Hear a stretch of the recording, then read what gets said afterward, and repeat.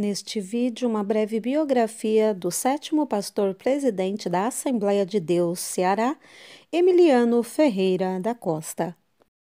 Seja bem-vindo ao Diário Pentecostal Historiando, análise histórica e crítica sobre o movimento pentecostal brasileiro. Se inscreva no canal e siga nossas redes sociais.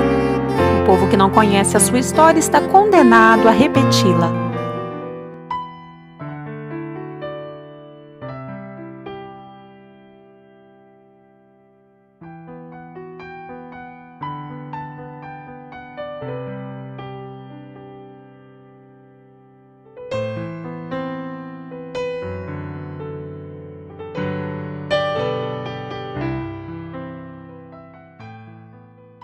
Emiliano Ferreira da Costa nasceu em Santana do Mato Dentro, Rio Grande do Norte, no dia 19 de maio de 1917.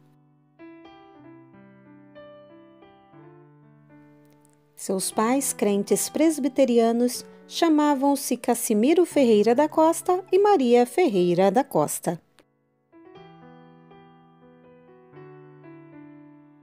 Foi casado com a irmã Lina, com quem teve seis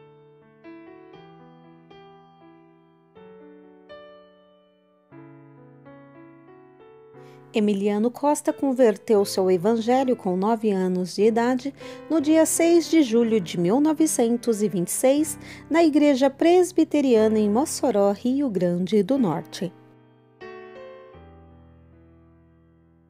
Ele ainda estava na igreja presbiteriana quando sentiu forte chamada de Deus para o Ceará.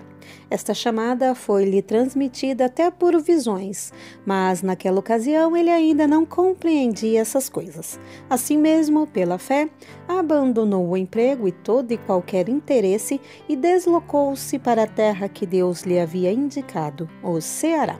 Chegando em Carangá, próximo à capital, no dia 4 de abril de 1944. Nove dias após chegar ao Ceará, Deus usou um servo, Antônio Pedro Crispim, para falar-lhe do batismo com o Espírito Santo. E nesse mesmo dia, num culto dirigido pelo evangelista José Ferreira Alencar, uniu-se à Assembleia de Deus. No dia 1 de janeiro de 1945, foi batizado pelo pastor José Teixeira Rego em Fortaleza e em 6 de setembro do mesmo ano recebeu o batismo com o Espírito Santo. Fixando residência em Fortaleza, passou a auxiliar o pastor José Teixeira Rego, dirigindo a congregação de Bela Vista no período de 18 de 11 de 1945 a 19 de setembro de 1958. Hoje, a Assembleia de Deus Bela Vista é sede de um grande ministério presidido pelo pastor José Teixeira Rego Neto. No dia 6 de setembro de 1953, foi ordenado a presbítero e em 6 de setembro de 1958 a pastora, seguindo para Itapajé, onde pastoreou aquela igreja até fevereiro de 1962 a 7 de fevereiro de 1962, assumiu a presidência da Assembleia de Deus Fortaleza em substituição ao pastor Armando Chaves Corwen, permanecendo até o seu falecimento. Em sua administração, foram abertas diversas escolas primárias e centros sociais com cursos de aprendizagem fundou o Instituto Bíblico das Assembleias de Deus no Ceará, IBADEC, a Caixa de Missões em 18 de agosto de 1978 e fundou também o programa radiofônico Voz da Assembleia de Deus pela Rádio Iracema de Fortaleza. Fundou também a Associação Filantrópica Evangélica, reconhecida da utilidade pública, sob o número 2873, de 29 de dezembro de 1964 deu grande impulso à organização das Irmãs Voluntárias e Círculo de Oração, as quais davam assistência social, faziam visitas e realizavam evangelismo pessoal Foi eleito conselheiro da Casa Publicadora das Assembleias de Deus na 21ª Convenção Geral realizada em Natal, Rio Grande do Norte, de 21 a 28 de janeiro de 1973 foi novamente eleito conselheiro da CPAD por ocasião da 25ª Convenção Geral realizada em Belo Horizonte, Minas Gerais, entre os dias 18 e 23 de janeiro de 1981. Na 26ª Convenção Geral realizada em Aribiri, Vila Velha, Espírito Santo, entre os dias 19 e 26 de janeiro de 1983, foi eleito quarto vice-presidente pela região Nordeste.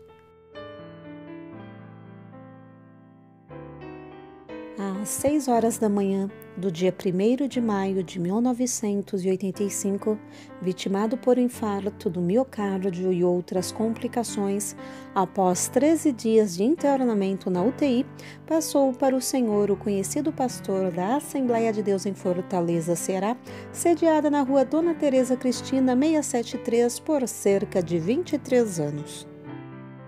Seu corpo foi velado no próprio templo, ocasião em que compareceram obreiros da Convenção Cearense e de outros lugares. Os trabalhos foram dirigidos pelo pastor Sebastião Mendes Pereira.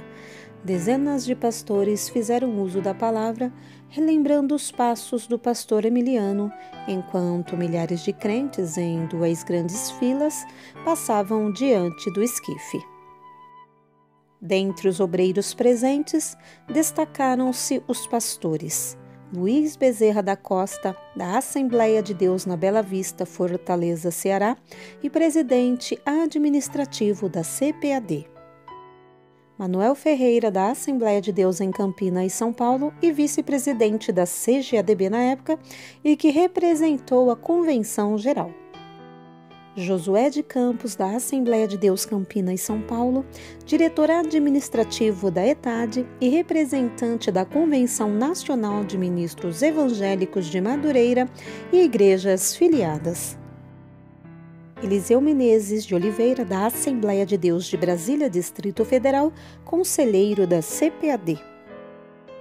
Paulo Belisário de Carvalho, da Assembleia de Deus de Teresina, Piauí, suplente do conselheiro da CPAD. José Leôncio da Silva, conselheiro da CPAD, acompanhado do pastor Severino Almeida, ambos da Assembleia de Deus Recife, Pernambuco. Isaac Martins Rodrigues, da Assembleia de Deus de Abreu e Lima, Pernambuco, acompanhado de mais quatro pastores. Compareceram também os pastores Elienay Cabral, Ricardo Gondinho Rodrigues, da Assembleia de Deus Betesda, o Toniel Martins, da Igreja Presbiteriana Central, Samuel Munguba, da Igreja Batista, Gidel Dantas de Queiroz, da Igreja de Cristo, Osíris Pessoa, do bairro Montese, todos de Fortaleza, Ceará. Saída do templo ocorreu às 16h30 em direção ao cemitério Parque da Paz. O corpo foi conduzido por um carro do Corpo de Bombeiros Sapadores, precedido por uma guarda de honra constituída de batedores da Polícia Militar. No sepultamento, às 18 horas, esteve também presente o prefeito César Caos Neto.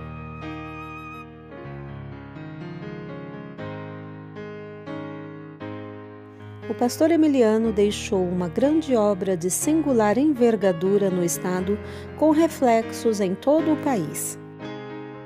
Em sua gestão, o templo central foi inteiramente reformado e adquiridas três casas anexas ao templo, a fim de que seja o mesmo novamente ampliado para melhor acomodar as convenções.